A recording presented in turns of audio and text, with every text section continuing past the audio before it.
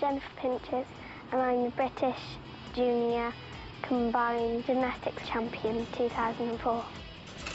My ultimate aim is to just be in the Olympics and just compete in the Olympics. Jenny was just six years old when her head coach Liz spotted that she had a talent for gymnastics. Now she's 11 and she's learned that natural ability is just not enough. Her life has become an endless round of training and competitions.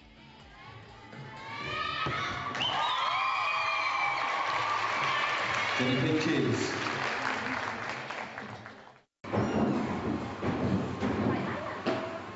I spend four hours training usually each night, but on Friday only three hours and on a Saturday six hours. Right, okay, girls. Busy day today. We've got Tonight's four-hour session is going to be particularly tough. Jenny's been picked as part of a top team representing her club in a competition. At the weekend we've got the British teams and our club is entering. It's quite a big competition so we're doing lots of routines and working hard.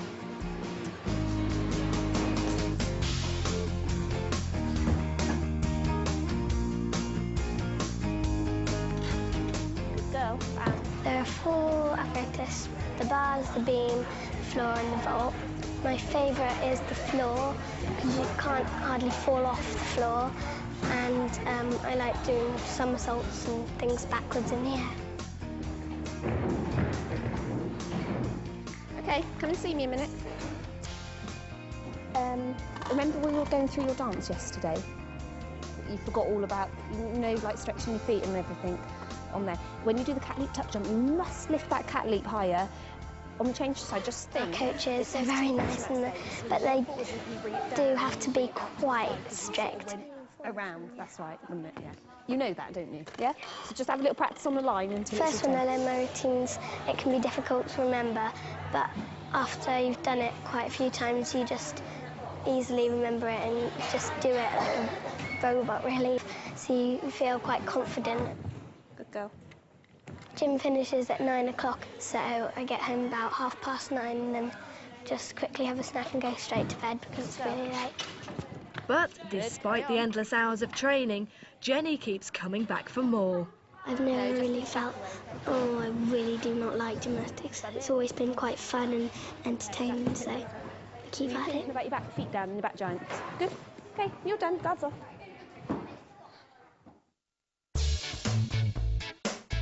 She may not be a superstar yet, but Jenny still gets plenty of attention.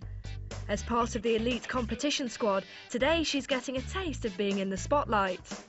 We had a photo done by professionalists. They're going to be special photos because they bring back memories of our first year at the British teams. Oh The photographer knows the way to get the widest smiles.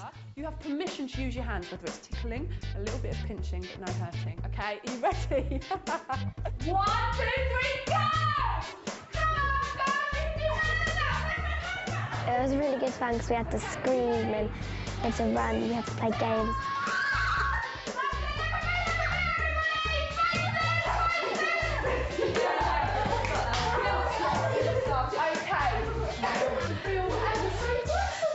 Now they're all warmed up, the girls can get flexible for their photographs. What can you do? You get cartwheels and yeah, movements. These definitely aren't the sort of moves to try at home. That's amazing. That's incredible.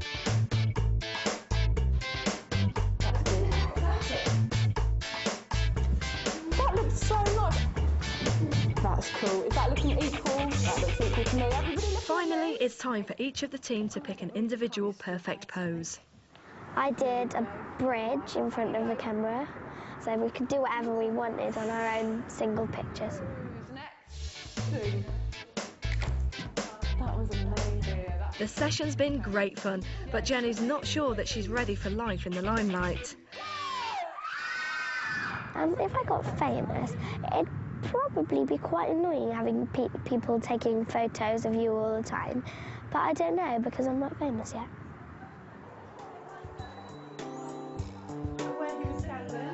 Like every other 11 year old girl, Jenny still has to go to school.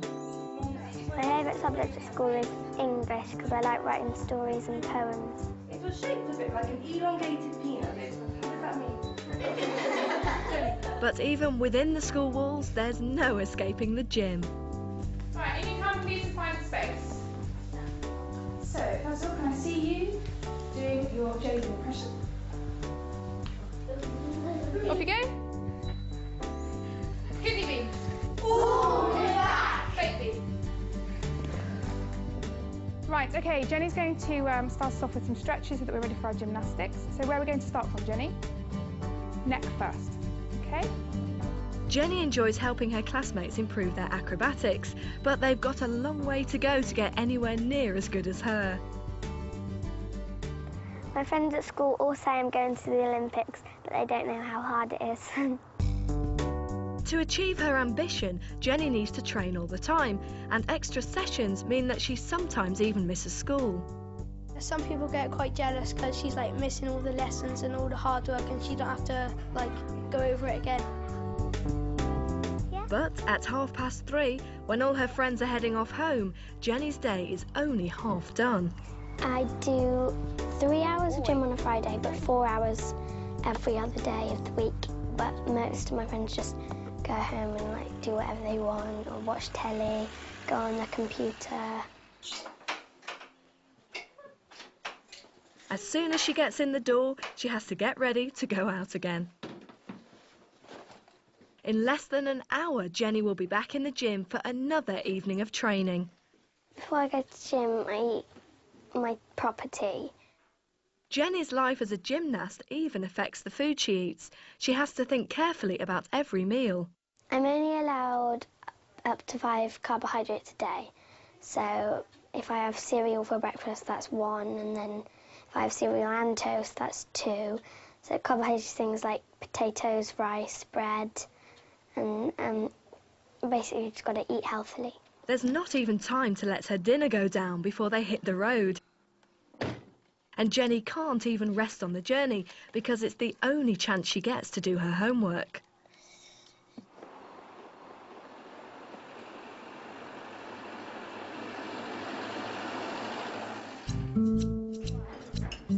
It's Saturday morning and Jenny's tucking into her breakfast, but she's not at home with her family or even with her teammates. She's staying at a national squad training camp with the best gymnasts of her age from all over the country. Mm, My friends at gym training know a bit more like about how it's like to be like a gymnast and go on training camps and everything. Friends at school just experience like a normal life going to school and going home.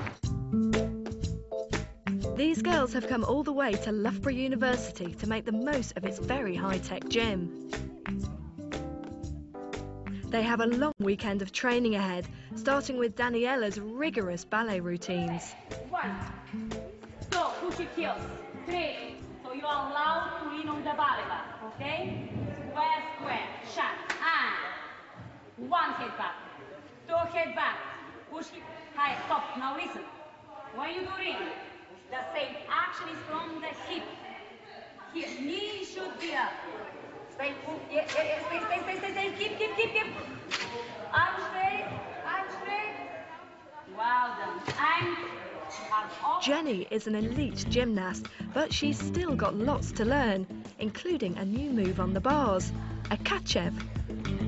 My training went quite well today because it was the first session and I did some new skills on bars called a Tkachev, where you fly over the bar and straddle and catch it again. I had heel pads on my ankles so that if I did it wrong and hit my feet on the bar, it wouldn't hurt as much. You're still coming down very flat. If you exaggerate this, the action will be stronger. At the moment, it's a bit hit and miss, but she's determined to get to grips with it by the end of the session. What you did last time was 100% better, wasn't it, than what you did at the beginning? But your feet need to come down a little bit more, more relaxation, then head through, strong arms. Arch, arch. Girl. Well done. It's not a mega difficult move, but new moves uh, can be quite hard when you first learn these. It's difficult at the moment. the gymnasts take well-deserved breaks back at the hotel. I like training camps because I get to see my friends and I like training in other places. I like staying in the hotel. You get to train with like other people from around the country and make new friends. Is it a twisty one or a straight one? I like Stingray because you like with your friends and you can like hang out and have laughs. If I go away for like a week or something, I can miss my family a, a bit, but not too much on weekends because I am used to it really. This camp's been a great success for Jenny, but there's still plenty of training to do before her team make their debut at the British Teams competition.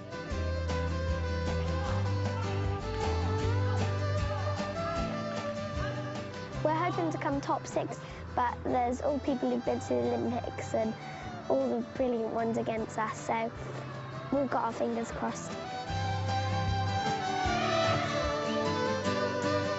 Jenny's won a sports scholarship to a very prestigious girls' school in Bristol. Before she starts a new term, she's come to have another look around. Hello, Jennifer. Hello. Hello, Mrs. Pinches. Pleased to meet you. Hello, Mrs. James. I'm just going to take Jennifer off and have a little tour with her, if that's okay. Yeah, that's fine. Thank you. All right, Thank Jen. you. Come on, Jennifer. Today we went around Colston's Girls' School, which is going to be my new secondary school in September. None of my other friends are going there, but I think it's a really nice school and they're going to help me really well with my gymnastics. Year seven, you'll start with French. And this is Yeah. the main French classroom, Can but you we do, do have other others. languages as well as French in year seven? No, it's just French. Thank you, girls. Good morning, girls. I um, especially liked the trips that they would be going on and the wide range of languages you could do. Hello.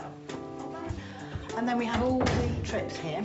The first one that you go on would be the year seven trip to France. And there you can see the girls going down to sport, chemistry labs. And there's some GCSE girls just relaxing after their exam this morning. And there is one other thing that Jenny, as a gymnast, is particularly keen to find out about. What sports do you do? We've got netball, and you also do hockey, swimming, tennis, and athletics. So all those things will be taught during the year. Back at home, Jenny makes the most of a little time off in between training. It's nice when I get to like chill out and do whatever I want and like go on a walk in the woods or something and like enjoy family life. Jenny is used to finding ways of amusing herself, as although she's a popular girl, training every day, including at weekends, means that she doesn't get much time to play with her pals. Today I'm supposed to be going to my friend's party, but I can't because um, I've got gym, so I do miss out on some things. And it's not just parties that Jenny misses out on. Competing in women's gymnastics means that she doesn't get to see many boys, apart from her brothers. Four-year-old Harry is very proud of his big sister's gymnastic achievements. She does roller ponies and swing on bars, and she can stand with her hands on the bar so really clever. She can swing round and round the bars too. Eight-year-old Jonathan is less impressed by his sister's success because he gets dragged along to watch her. I don't think much about going to competitions because she, um, I get bored halfway through and I have to bring something like a Game Boy. But it's tough luck for Jonathan as the British team's competition is just around the corner and Jenny's keen to add another medal to her very prestigious collection. I have 33 medals, um, one rosette, nine cups, and 11 ribbons. This one is when I won combined for 2004 British Championships in November. My favourite medals are these two. This one because it's shiny and it has pictures of gymnasts on it. And this one because it's 3D and it's soft and it shows all the pieces. It's another weekend, another hotel, and the first day of the British team's competition. But right now, Jenny and her pals have more important things on their minds. Right, girls, we're in one one nine. First one to get the best fence.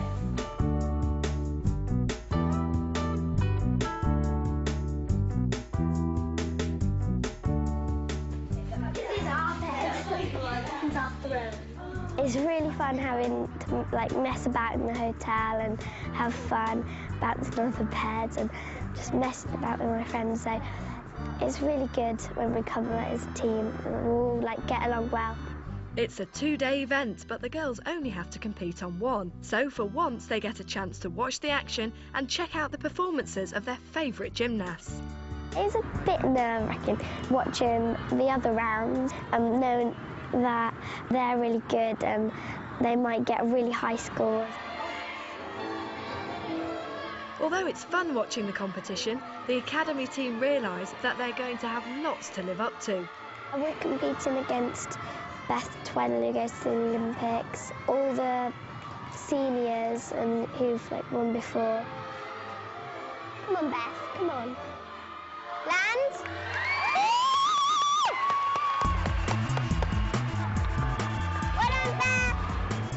Back at the hotel, the girls make the most of their time away from home.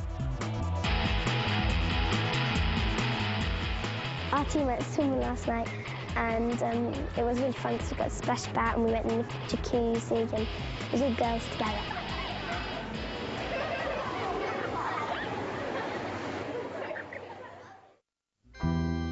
It's the morning of their big day and time to add an extra bit of sparkle to their performance. Although she's the youngest member of the team, Jenny doesn't seem to get left out.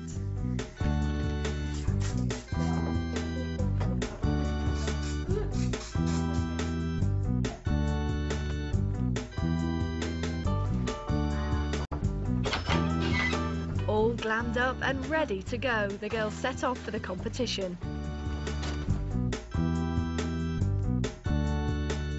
Today it's our girls' turn to please the crowd, and the nerves are beginning to show.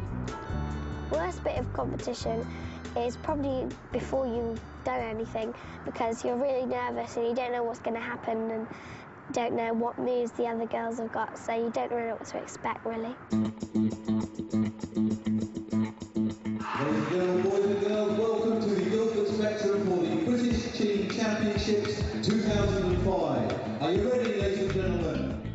Are over 90 competitors of all ages here from 16 of the best British clubs. So Jenny and her team will need lots of luck to get the top 10 finish they're desperately hoping for.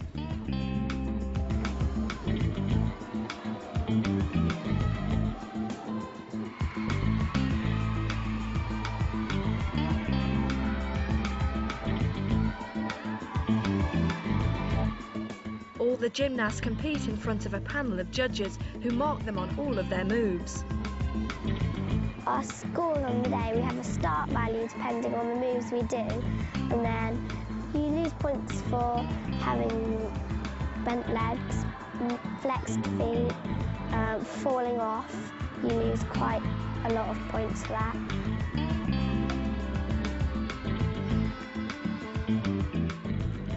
Probably easier to compete as a team because you have, you can rely on other people. Having lots of people cheering you on kind of encourages you and makes you more confident so you think I can do this and then you do better. And now it's time for this 11 year old to work her magic.